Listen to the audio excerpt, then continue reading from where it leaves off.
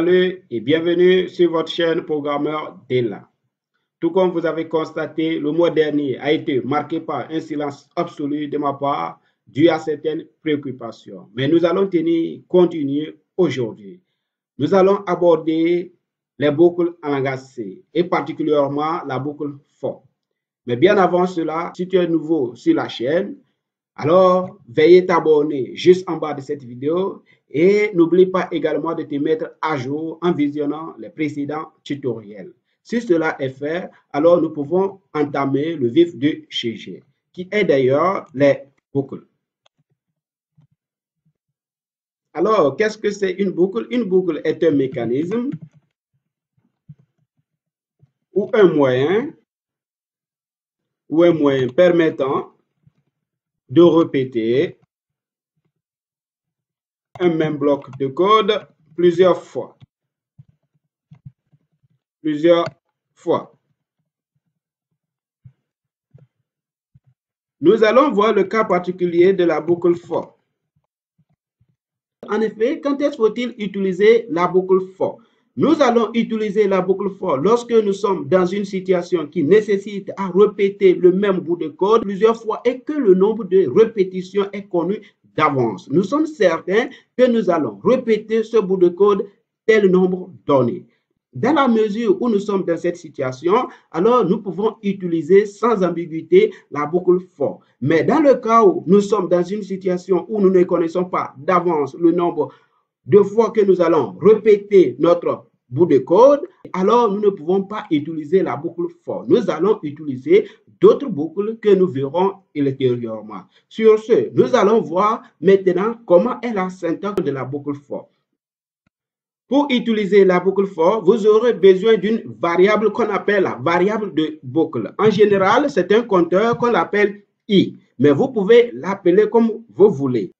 Une fois que vous avez déclaré votre variable de boucle, vous écrivez ensuite for suivi de parenthèses. Et vous allez préciser à l'intérieur de ces parenthèses trois expressions en fonction de cette variable de boucle, tous séparés de points virgule. La première expression est l'initialisation. Vous mettez point virgule. La seconde expression est la condition. Vous allez donner la condition de sortie de la boucle. Vous mettez point virgule. Ensuite, vous allez donner la dernière expression qui est la modification. Une fois que vous avez fini de préciser ces trois expressions, vous sortez des parenthèses, puis vous mettez des accolades. Vous allez écrire ici le code qui sera répété. Maintenant, voyons à quoi signifient ces différentes expressions que prend la boucle for. La première qui s'appelle l'initialisation. Cela signifie que nous allons devoir donner une valeur initiale, c'est-à-dire une valeur de départ à notre variable de boucle. Je l'ai appelée ici par exemple i. Nous allons devoir donner la valeur de départ à i. Et cette valeur de départ est donnée une fois pour toutes. Et qu'est-ce qui va se passer? La boucle for va vérifier la condition. Il va voir la valeur initiale que vous avez donnée, est-ce qu'elle obéit à la condition? Si oui, si elle obéit à la condition, qu'est-ce qui va se passer? Il va exécuter le bloc d'instruction qui est donné à ce niveau. Sinon, rien ne va se passer. Une fois que la dernière instruction de ce bout de code serait exécutée, alors serait lancée automatiquement l'exécution de l'expression de modification. Et cette expression de modification, elle peut être soit une incrémentation, une décrémentation ou toute autre forme de modification. C'est comme ça, cela va se posséder. Maintenant, voyons à quoi ressemble le logigramme de la boucle for. Eh bien, voici l'organigramme de la boucle for. Nous avons l'initialisation. Nous allons devoir donner une valeur initiale à notre variable de boucle. Une fois que nous avons donné cette valeur initiale, il y a un test qui sera effectué. C'est à ce niveau qui est la condition. Si la condition est vraie, qu'est-ce qui va se passer? On doit exécuter le bloc d'instruction. On donne l'état initial, on vérifie la condition est vraie. Si oui, on exécute tout ceci. Une fois que l'exécution est finie, qu'est-ce qui arrive? Il y a la modification. On va venir modifier à ce niveau notre variable de boucle. Puis, qu'est-ce qu'on va faire? On va retourner encore puis retercer pour voir si la condition est toujours vraie ou fausse. Si la condition est toujours vraie, on continue l'exécution jusqu'à ce que la condition soit fausse. Si la condition est fausse, alors nous allons sortir de la boucle, puis on se branche sur la suite du programme. Vous pouvez également le voir à ce niveau. Il y a l'état initial, nous faisons le test. Si c'est vrai, on fait l'exécution, puis on retourne, on effectue le test. Si c'est vrai, on fait l'exécution. Dans le cas où ce n'est pas vrai, on va sortir de la boucle. C'est comme ça va fonctionner la boucle for. Maintenant, nous allons passer au code pour voir comment utiliser concrètement la boucle for. Pour ce faire, je t'invite à ouvrir ton CCP Droid si tu utilises ton téléphone ou toute autre application ou vous ouvrez votre code bloc ou tout autre logiciel si vous utilisez votre ordinateur. Moi, j'ai déjà ouvert mon code bloc puis créer mon projet. Je vais l'ouvrir. Je fasse tout pour permettre aux utilisateurs de téléphone de bien nous suivre. Pour commencer, nous allons inclure en tout premier lieu notre bibliothèque SU.H.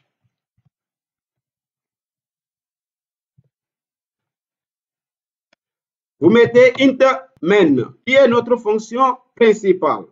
Les parenthèses, puis vous mettez les accolades. Vous mettez return 0. Nous demandons à la fonction de nous retourner 0 si tout s'est bien passé. Et nous pouvons rédiger l'ensemble de notre code à ce niveau. Pour illustrer l'usage de la boucle for, nous allons prendre un exemple basique qui consiste à afficher les 10 premiers nombres entiers en utilisant une seule ligne d'instruction. Pour résoudre ce problème, je vais déclarer une variable qui est un entier que je vais mettre i. Je pouvais l'appeler compteur ou tout autre nom comme je veux. Puis je mets for suivi des parenthèses. Et la toute première chose que je vais faire, c'est l'initialisation. Je vais initialiser ma variable i. Je vais dire i égale à 1. Parce que quoi, je vais afficher les 10 premiers nombres entiers. Donc, je vais initialiser le tout premier nombre, ça serait 1. Donc, je mets point virgule, puis je vais spécifier la condition, c'est-à-dire la condition de répétition ou la condition de sortie. Ici, nous voulons afficher les 10 premiers nombres. Cela veut dire que le dernier nombre doit être inférieur ou égal à 10. Donc, je vais dire i inférieur ou égal à 10. Vous mettez point virgule et vous allez spécifier la modification. Ici, comment doit se faire la modification?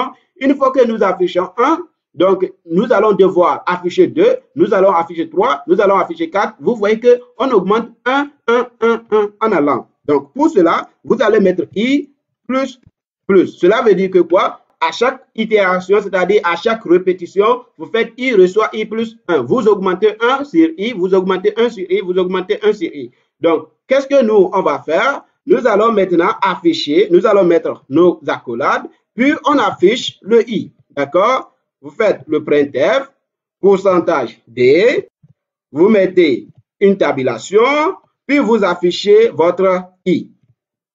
Nous allons afficher le i. Alors, voyons comment va fonctionner le programme. Nous avons déclaré une variable i. Et cette variable, c'est une variable de boucle. Nous l'avons initialisée à 1. Et nous avons donné une condition que lorsque i est inférieur ou égal à 10, alors il faut afficher la valeur de i. Et une fois qu'on finit d'afficher la valeur de i, on va augmenter 1 sur l'ancienne valeur. C'est comme ça, ça va fonctionner.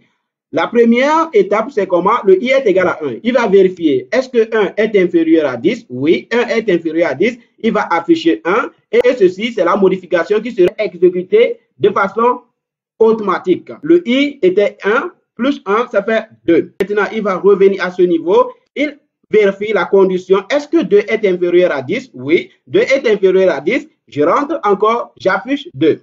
Puis la modification est effectuée encore de façon automatique. Maintenant, le i serait égal à 3. Est-ce que 3 est inférieur à 10? Oui, 3 est inférieur à 10. Il rentre encore, il affiche 3. Et la modification serait encore effectuée automatiquement jusqu'à ce que i reste inférieur ou égal à 10. Du moment où i serait supérieur à 10, alors la boucle s'arrête. Et nous pouvons le voir. Alors, exécutons ce code. Et voici, vous avez 1, 2, 3, 4, 5, 6, 7, 8, 9, 10. Vous avez les 10 premiers nombres entiers. au lieu d'afficher ces dix premiers nombres entiers, on pouvait calculer leur somme. On pouvait calculer la somme des dix premiers nombres entiers. Pour cela, il suffit seulement de faire une variable somme. Vous faites une variable somme égale à 0. D'accord? Puis vous rentrez ici et vous dites somme, reçoit somme, plus i. Ce que je viens de faire est l'équivalent de somme, reçoit somme, plus i.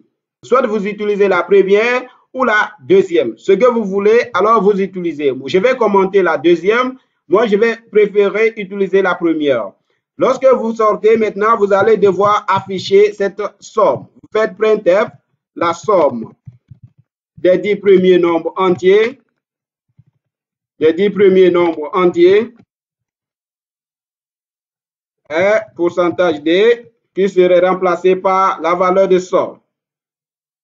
On fait une tabulation. Maintenant, voyons comment va fonctionner de nouveau notre programme. Nous avons ajouté une variable que nous appelons somme. Et cette somme, nous l'avons initialisée à 0. Maintenant, nous rentrons dans notre boucle en initialisant notre variable par i. Et nous avons dit que lorsque la valeur de i est inférieure ou égale à 10, alors qu'est-ce qu'il faut faire? Il faut afficher i. Et lorsque tu finis d'afficher i, il faut ajouter sur l'ancienne valeur de somme, il faut ajouter la valeur i sur ça. C'est comme ça, cela va fonctionner. Somme était précédemment égal à 0. Maintenant, ça serait 0 plus 1. 0 plus 1, ça fait 1. Maintenant, notre somme vaut à nouveau 1. Une fois que la dernière instruction est exécutée, alors la modification est effectuée. Maintenant, le i est égal à 2. On vient, on effectue le test à ce niveau. 2 est inférieur ou égal à 10. Oui, 2 est inférieur ou égal à 10. On affiche 2. Puis on vient, la somme qui était 1, maintenant 1 plus 2, ça fait 3. Ainsi de suite, ainsi de suite, ainsi de suite. Par après, nous allons trouver la somme de ces 10 premiers nombres entiers égale à 55. Pour cela, Voyons ce que le code va nous donner. Voici, on vous dit la somme, on nous a affiché ces 10 premiers nombres entiers et on nous dit ici la somme des 10 premiers nombres entiers est égale à 55. Vous pouvez exécuter cela à votre niveau. Vous faites 1 plus 2 plus 3 plus 4 plus 5 plus 6 plus 7 plus 8 plus 9 plus 10 et vous allez trouver 55. Nous allons voir également un autre exemple d'utilisation de la boucle for. Supposons que vous n'avez pas fait votre devoir de maison et que votre professeur vous ait puni en vous demandant d'écrire mille fois cette phrase. Je ferai toujours mes devoirs de maison avant de venir à l'école. Je ferai toujours mes devoirs de maison avant de venir à l'école. Je dis bien mille fois et que vous devrez rendre cela le lendemain. Vous pouvez générer toutes ces phrases en une fraction de seconde à partir de la boucle for. Maintenant, nous allons voir comment ça va procéder. Pour résoudre ce problème, qu'est-ce que vous allez faire? Vous allez juste supprimer ce que nous avons fait, d'accord? Ou bien vous commentez cela. Et nous allons mettre notre for, d'accord? Toujours, on va préciser l'initialisation. On va dire que nous débutons par 1. Une fois que vous avez fini l'initialisation, vous mettez point virgule. Vous allez donner la condition de sortie. Ici, nous voulons afficher 1000 lignes. Alors, vous allez mettre i inférieur ou égal à 1000. Ou vous mettez i strictement inférieur à 1001. C'est toujours valable. Vous mettez point virgule. Maintenant, nous voulons afficher 1000 lignes. Ce qui veut dire que nous allons faire une incrémentation pas à pas. Si vous avez des difficultés à comprendre le principe d'incrémentation, alors je vous invite à visionner le précédent tutoriel qui vous parle de l'opération d'incrémentation et de décrémentation et le problème serait résolu. Et une fois que vous avez fini de donner la condition, vous mettez la modification qui serait l'incrémentation. Vous sortez de là, vous mettez vos accolades. Et qu'est-ce qu'on va dire? Maintenant, nous allons afficher notre message. Le numéro je ferai toujours mes devoirs avant de venir à l'école. Vous allez à la ligne, puis vous donnez la variable i. À votre attention, en langage C, les caractères accentués ne sont pas connus. Alors, soyez prudent lorsque vous codez en C. Maintenant, qu'est-ce que le code va vous afficher? Il va vous afficher exactement mille fois, je ferai toujours mes devoirs avant de venir à l'école. Et nous pouvons le voir. Voici, ça va. Et voici ici, la première fois, c'est à quel niveau? Vous allez le voir ici. La toute première fois, il vous dit, je ferai toujours mes devoirs avant de venir à l'école. Vous voyez, à ce niveau, c'est le millième de fois. 1000, je ferai toujours mes devoirs avant de venir à l'école. Et vous voyez, en quelques fractions de secondes, nous venons d'automatiser un travail qui devait nécessiter des jours et des jours. Alors, faites bon usage de la boucle for. La boucle for est également utilisée pour manipuler les vecteurs ainsi que les tableaux et bien d'autres. C'est ce qui met fin à ce tutoriel. Si vous êtes utilisateur de téléphone, je suis convaincu que vous avez recopié à votre niveau, puis vous avez compilé, puis exécuté. Si vous rencontrez des difficultés à le faire, alors je t'invite à visionner le tutoriel qui te montre comment utiliser CCP Droid sur son téléphone et le problème serait résolu. Si cela est fini, je t'invite maintenant, si tu es nouveau, à t'abonner juste en bas de cette vidéo et n'oublie pas également de partager la vidéo, puis de commenter et liker si la vidéo vous a été utile. Je vous remercie.